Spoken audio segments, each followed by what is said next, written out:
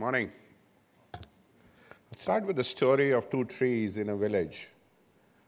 Uh, one tree was very beautiful, right next to the river, green, had lots of leaves, had lots of shades, was very popular with the villagers. They'll have their religious ceremonies there, their marriages, everything will be celebrated, and the children will be running around the tree. And then there, this was old-looking tree far away from the river because of lack of water. It was ugly. There were no leaves. It looked like a stick. And the villagers were waiting for this tree to die. One day a storm came. The villagers celebrated the fact that the old tree will be finally gone and they can burn the wood and they can have a party under the, under the tree next to the river. To their surprise, when they woke up, the tree next to the river was gone and the old tree was still standing. And the reason obviously was that the tree next to the river was getting water very easily, therefore the roots were shallow, unlike the other tree for which the roots were deep. And the first gust of wind, the tree was gone. Unfortunately, HR is the tree next to the river. HR looks pretty. HR seems to be doing things. But if you really ask an employee, it wishes HR were dead.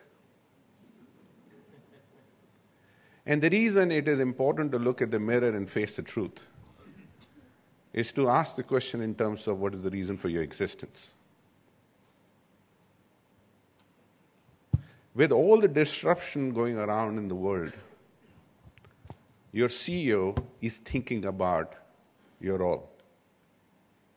And I have three questions for you. What was the net salary increase of HR people over the last five years compared to line functions? What is the increase in the entry level salary of HR people coming into any industry compared to the line function? And how many HR people have been replaced with line function people taking on HR roles? If you can't smell the obsolescence of HR in front of you, and you can't see that the HR the way we see today will be dead by 2020, then you have no right to be an HR person. You need to wake up. And all this disruption happening around, which Mohan talked about, is only going to add to your misery. But I'm confused in terms of why are we talking about disruption and why are we talking about obsolescence and why am I predicting that HR will be dead by 2020?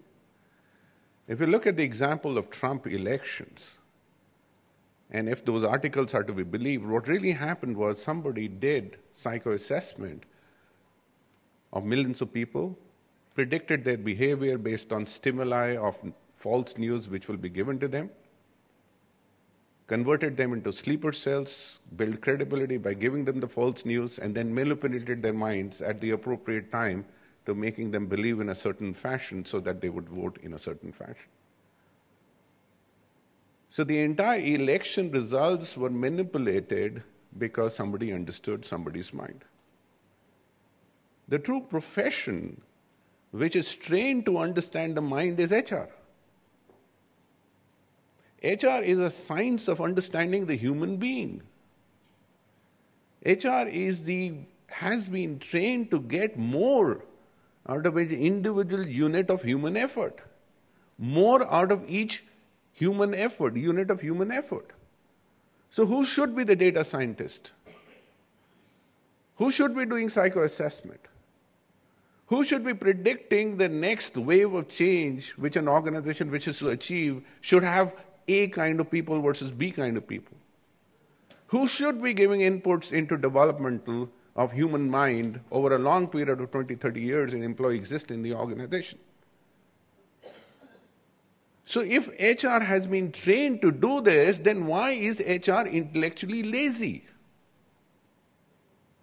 Why it is behaving like that tree with those beautiful leaves, sacking people, doing appraisals, doing you know responses to employees, none of that is important in the role I of a, of a CEO or, or of the board. What you were really trained for is what you need to do. For that, you have to believe that you are the old tree with deeper roots, deeper conviction in your own science. And unless you have that, I can promise you that you will be one of the obsolete forces in the world, exactly like the Kodak film is disrupted by the digital camera. So, my takeaway from this conference, as you sit about it or hear this on, on digital media, is all which is happening around us is great. But protect yourself from becoming obsolete, otherwise, you'll be dead soon. Thank you.